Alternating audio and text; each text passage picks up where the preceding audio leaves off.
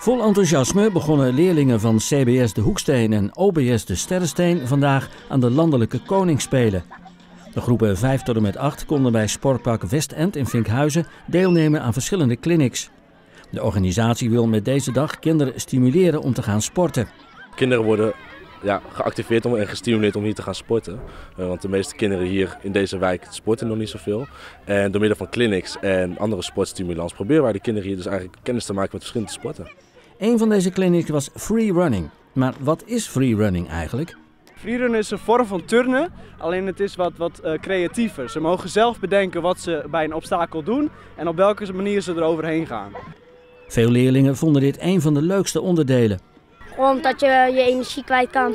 Ja, en je, je mag zelf weten wat je doet. Um, rennen is wel een van mijn lievelingshobby's. Ik doe liefst de hele dag. En ben je dan ook de beste in van de klas?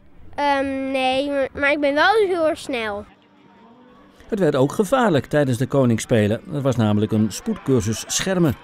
Gelukkig hadden de kinderen een beschermpak aan om ongelukken te voorkomen.